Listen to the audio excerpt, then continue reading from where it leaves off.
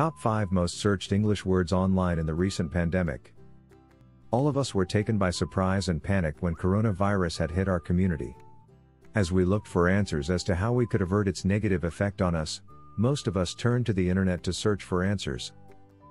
Google gave us an idea of what are the top 5 concerns as the pandemic happened due to the virus. Based on internet users' searches on the internet, the following topics were the most relevant to them face mask, hand sanitizer gel, disinfectant wipes, disinfectant spray, and toilet paper. As people tried to get a hold of these items, experts reminded us on the proper way to use them effectively.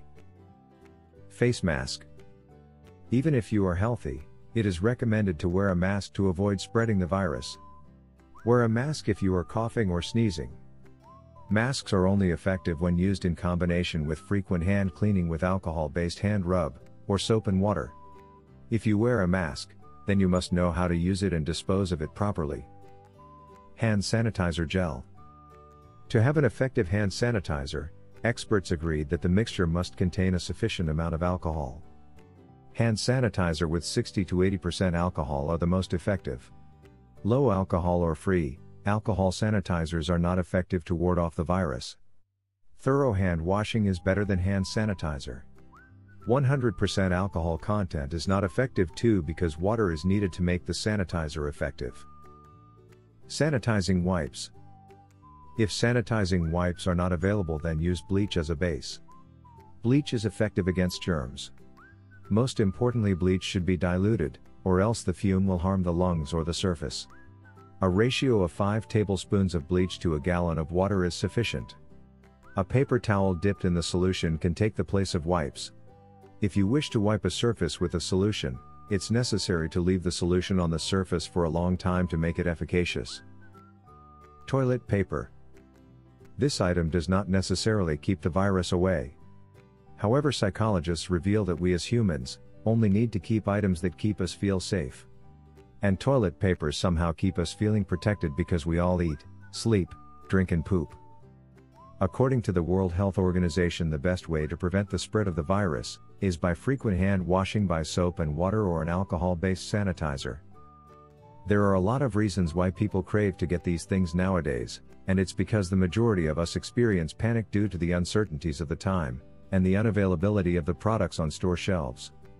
Governments in most countries ask their citizens to practice social distancing and urges everyone to stay at home especially if there is no important reason to go out gatherings are limited or prohibited, and shops are closed, and these uncertainties are driving people to panic buying, that means emptying store shelves quicker than they can be replenished.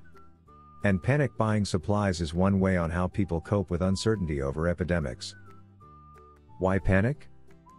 Humans always aspire for peace of mind and accumulation of goods, and when something or someone causes this peace to diminish, people feel fear and anxiety. In certain circumstances, panic contributes positively and can be a lifesaver. For instance, when there is a speeding car about to hit us, or a wild animal like a lion suddenly appears and is ready to jump on us, it will be good if we act swiftly to protect ourselves against the cause of the danger. However, in some instances, panic can bring more harm than security. Just take panic buying for example, some people who have the resources to buy more than what they need, are lucky to get the supplies, but what about those who are not so lucky to have money to be able to buy, or those who are not able to go to the stores in time? Experts say that the inconsistency of reports or directives coming from the government, media, and private individuals and organizations cause uncertainty and therefore bring panic to people. We were advised to take precautions when assessing the situation.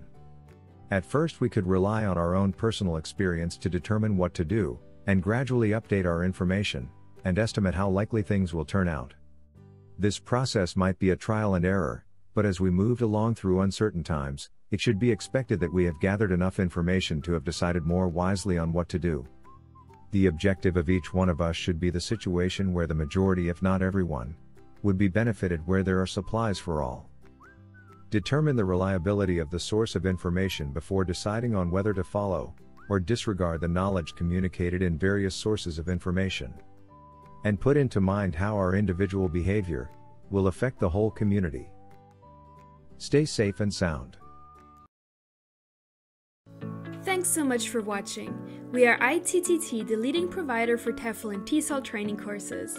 If you like this video, please subscribe by clicking that button down here and click on any of the videos here on the left for more interesting teaching tips for getting certified to teach English abroad and online.